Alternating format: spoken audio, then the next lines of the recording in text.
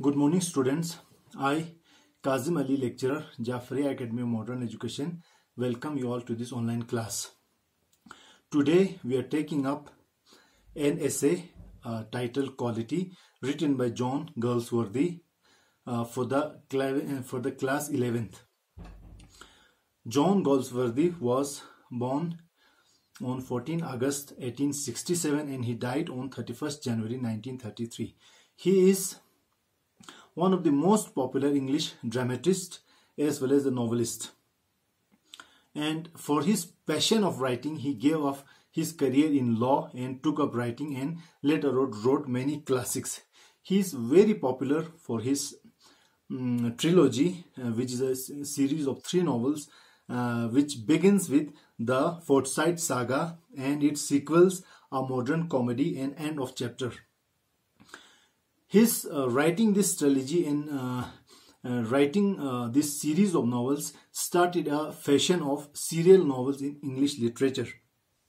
Later on, Mr. Goldsworthy won the Nobel Prize in 1932. Uh, in this chapter uh, titled Quality, we are presented a pre-reading task before the lesson.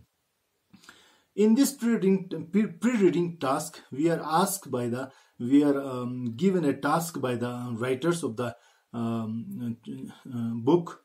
about uh, certain questions. They are asking us certain questions and finding out and try, trying to find out our views about it. Like, what do we expect from a product? Why we buy a product हम एक product क्यों खरीदते हैं हमारा क्या reason होता है कि हम एक प्रोडक्ट एक चीज़ को खरीदते हैं व्हाट वी एक्सपेक्ट एंड हम उस चीज़ से उस प्रोडक्ट से क्या एक्सपेक्ट करते हैं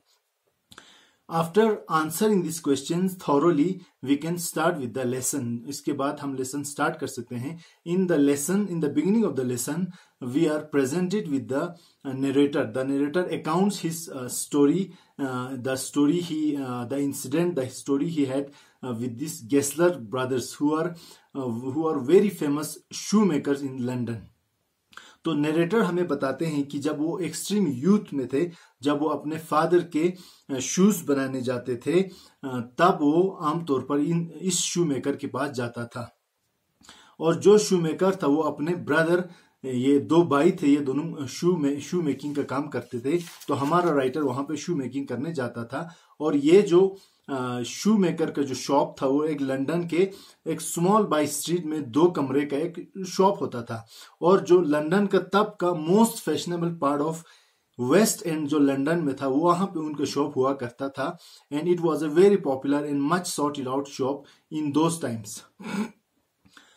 अच्छा उसके बाद राइटर हमें बिल्डिंग के बारे में बताते हैं। जिस बिल्डिंग में ये इनका शॉप होता था the building had unusual features unusual features थे जो टिपिकल एक शॉप टिपिकल एक कमर्शियल एंटरप्राइज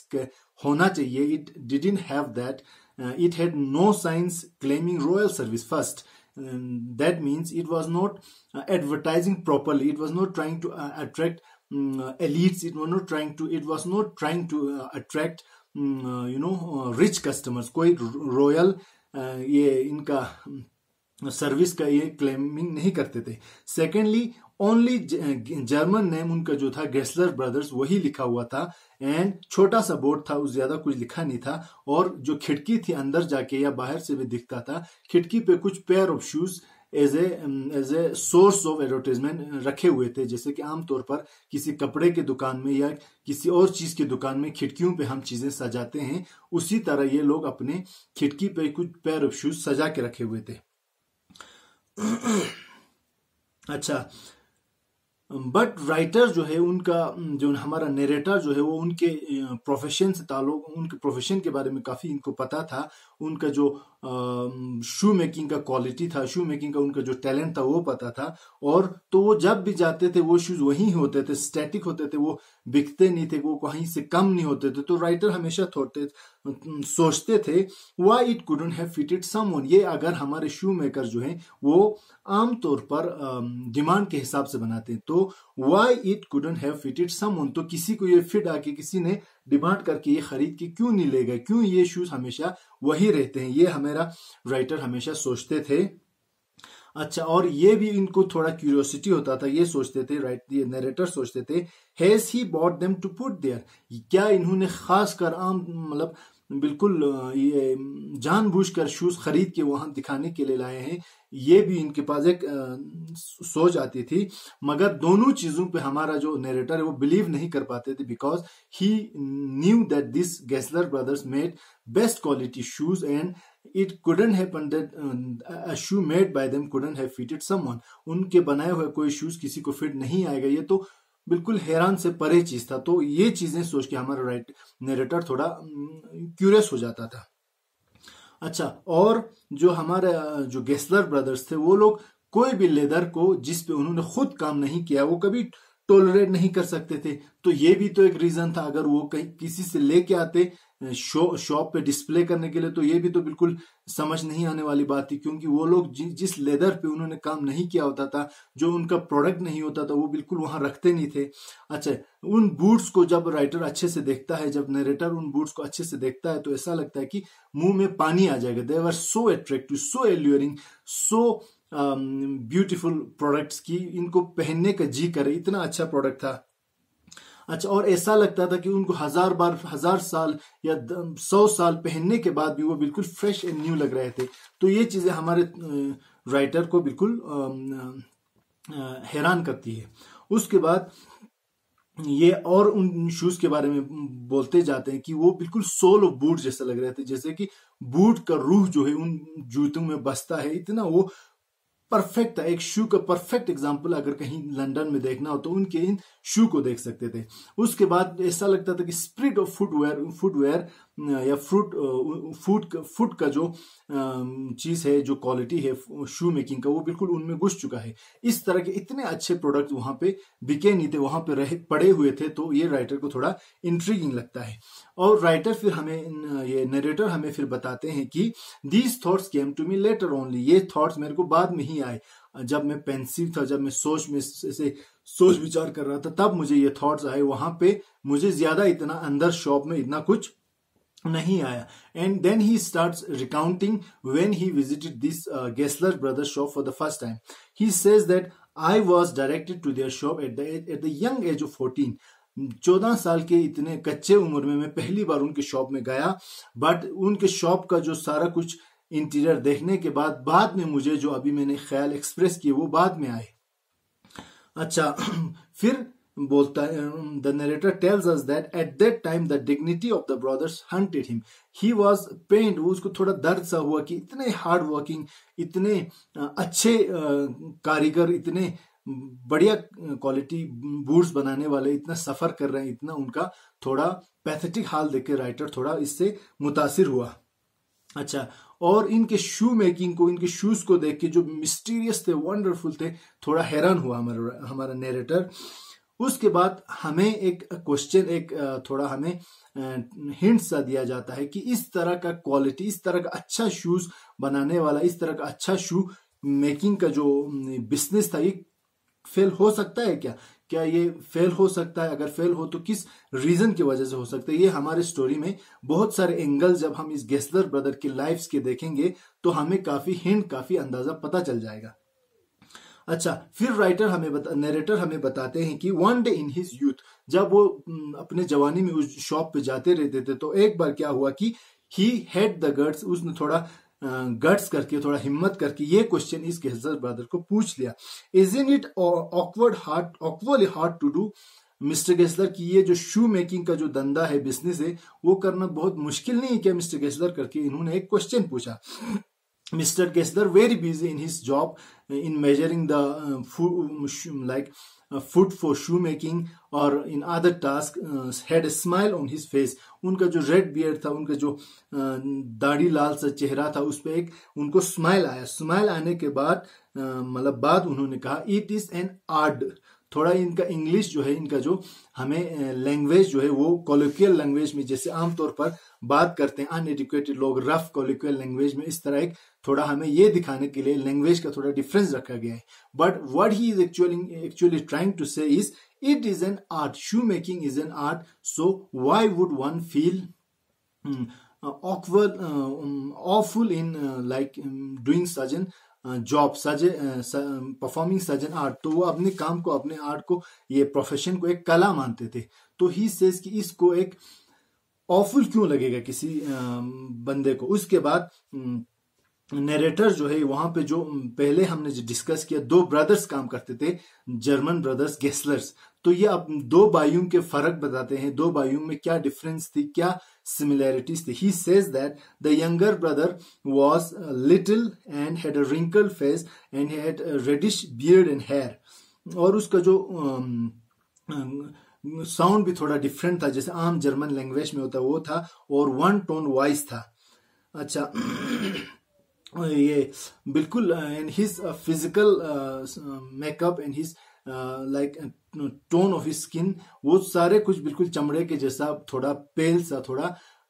उसके जैसा सख्त सा, उसके थोड़ा थोड़ा, ये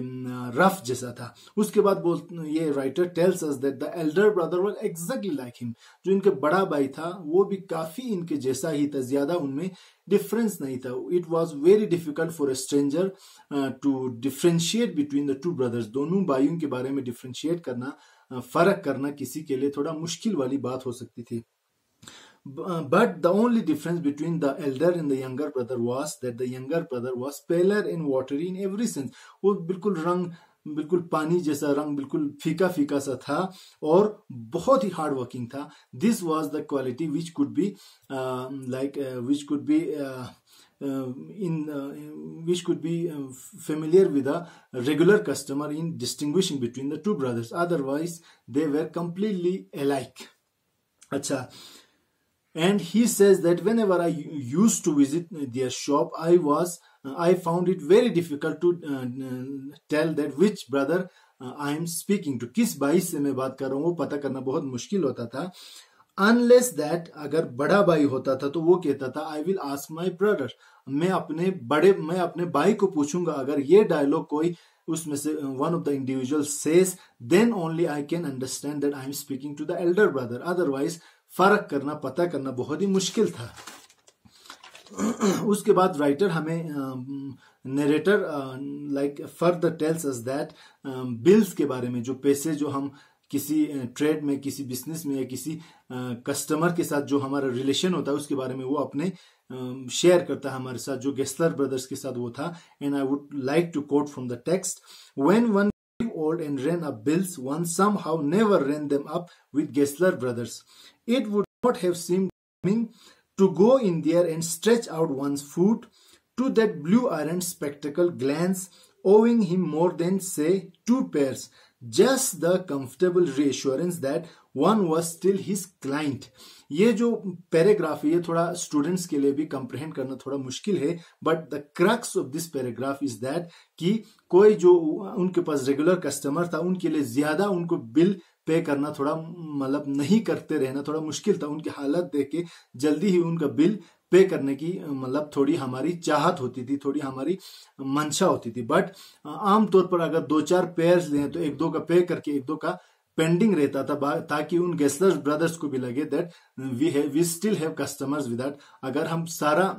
बिल क्लियर करके कुछ तीन चार महीने नहीं जाएँगे तो दे वुड कंसिडर दैट ये कस्टमर तो हमें, हमारे पास अभी नहीं आता। तो इस तरह बिल्स को भी हम ऐसे थोड़ा आधा पे करके आधा वो करते थे। इस तरह एक सीक्वेंस चलता था, ताकि उनको भी कंफर्टेबल रीश्योरेंस रहे कि हमारे क्लाइंट्स हमारे साथ अभी भी हैं। अच्छा and he while talking about the quality of the shoes the narrator tells us that it was not possible to go to their shop frequently one cannot go to the Gessler's brothers shoemaking shop frequently because they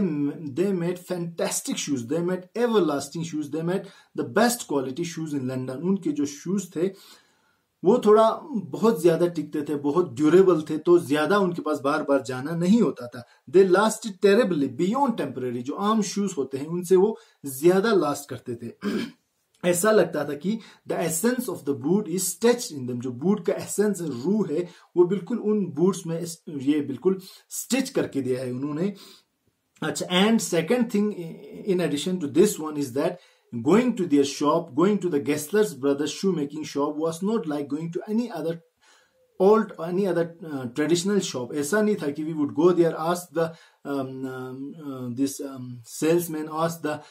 counter boy to give us the product and we will pay and come out ऐसा लगता था, बिल्कुल seriousness of इस church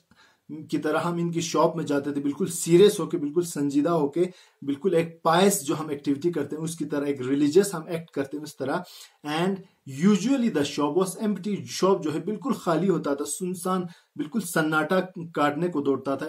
ऐसा इतना इनके shop में feeling होता था। और थोड़ा अंदर जाके जो उनका डार्क जो स्मेलिंग जो लेदर की जो स्मेल आती थी, वो थोड़ा हम फेस करने के बाद, थोड़ा इधर उधर देखने के बाद his and his elder brother's face could be seen peering down थोड़ा ऊपर जो उन्होंने प्लेटफॉर्म बनाया था, वहाँ से उसका गेस्लर और गेस्लर के ब्रदर के हम चेहरे देख सकते थे कि वो नीचे देख रहे हैं and they know that a customer is in the shop तो उसके बाद वो नीचे आते थे and they use to come down without a coat वो एक थोड़ा लेदर का एप्रन पहन के नीचे आते थे एंड ऐसा लगता था कि उनको अपने ख्यालों के, ख्वाबों के दुनिया से हमने जगाया। एक आउल जो है, उसको डे लाइट में जो तकलीफ़ होती थी, ऐसा लगता था, उनको वैसे ही तकलीफ़ हो रहा है। And the narrator would say जो नरेटर वहाँ जाने के बाद कहते थे how do you do Mister Gessler could you make me a pair of Russian leather boots the narrator would present his demand वो बोलते थे कि आप कैसे हो मिस्टर गेस्लर क्या आप मुझे एक रशियन लेदर बूट्स का एक पेयर क्या मुझे बना सकते हो? And without a word the person whoever it is the elder brother और the younger brother would go, would, like, listen to him and go somewhere in the in, somewhere in the shop. Shop में कहीं वो चुपचाप without replying जाते थे and the writer the narrator would continue to sit in the chair वो जो chair पे बैठे थे, वहीं बैठे रहते थे. And after inhaling the incense the smell of the boots and leathers and other things related to shoe making shop तो फिर थोड़ी देर बाद they the person would return thin veined hand piece of gold brown leather gold brown का एक अच्छे quality का leather लेके वो हमारे पास वापस आते थे, जो हमारे क्वेश्चन को सुनने के बाद गए थे, वो वापस आते थे। Then he would say what a beautiful piece he would start praising, he would start boasting about the piece of leather he has in his hand, कि कितना अच्छा क्वालिटी का पेपर है। सॉरी लेदर है। Then after the writer had admired that product after the writer had admired the uh, leather uh, also writer writer के admire admiration करने के बाद the person the brother would ask when do you want them इन इस shoes को जो आपने शू मेरे से या बूट्स मेरे से जो डिमांड किए हैं when do you want them आप इनको कब चाहते हो then uh, the writer the narrator would say tomorrow fortnight two weeks from tomorrow that means कि आज से दो हफ़्ते बाद एक चौदह दिन बाद कम से कम मुझे ये शूज़ चाहिए uh, if it was the sorry if it was the elder brother he would say I will ask my brother तो वो ये कह के वहाँ से चले जाते थे। And after that the they would go their way the brother will return to the shop and return to the place where he was sitting and जो दुकान में जो शू मेकिंग में जो साउंड होती है जो लेदर के बीट करने का या स्टिच करने का या जो बाकी चीज़ें होती थी वो कंटिन्यू होता था and the writer would come out writer बाहर आ जाता था। Like uh, they to quote it from the lesson, the tip tap of bust slippers restoring him to the dream of boots. जो टिप टैप जो करता था उस shop में, वो ऐसा लगता था कि हमारे जो गेस्लर ब्रदर्स है, उनको अपने ख्वाब ख्यालों के, जूतों के ख्वाब, ख्यालों की दुनिया में वापस ले रहे हैं बिकॉज़ उनमें से इंटरप्ट करके मैंने उनको यहाँ बुलाया था। एंड बट uh, अगर कभी ऐसा होता था कि but if a new kind of foot gear he had not yet met अगर कोई ऐसा जूता होता था ऐसा कोई शू होता था जो उसने आज तक नहीं बनाया था, था नहीं बनाया होता था तो, तो वो जो ब्रदर्स थे वो क्या करते थे? दे वुड ऑब्ज़र्व सेरेमनी वो थोड़ा साइलेंट रह के थोड़ा कॉन्टेम्पलेट करते थे, सोचते थे। एंड जो शू होता था, वो उसको हम मेरे पाँव से उखाड़ के, मेरे पाँव से उतार के लेके वो लोग एक क्रिटिकल और लविंग लुक देते थे। अच्छे से उसको ऑब्ज़र्व करते थे। एक सर्जन एक स्पेशलिस्ट जो करता था, उस तरह बिल्कुल अच्छे से वो क्रिटिकली लुक करते थे। Recalling the glow of creation and rebuking the sin of disfiguring the masterpiece ऐसे लगता था कि जब वो जूता बना था, उसका जो भी ग्लो था वो उनको जो रिकॉल कर रहे हैं और जो मैंने उस शू को डिसफिगर किया, खराब किया है, उसको बिल्कुल एक तरह से वो क्रिटिसाइज कर रहे हैं, उसके गुस्सा कर रहे हैं, ऐसा मुझे लगता था। अच्छा देन उसके बाद क्या होता था? ये जो नरेटर का, ये फुट जो है वो किसी पीस ऑफ़ पेपर पे रखने के बाद then he would encircle the foot वो पाउंग का जो थोड़ा जो ये रफ स्केच बनाता था, ये he would trickle outer edges with pencil pencil outer edges को पेंसिल के साथ वो ट्रिकल करता था then pass his nervous finger over my toes और हमारा जो राइटर है, उसके टोस के बीच अपना नर्वस फिंगर पास करके वो थोड़ा इसको रफ स्केच सा बनाता था।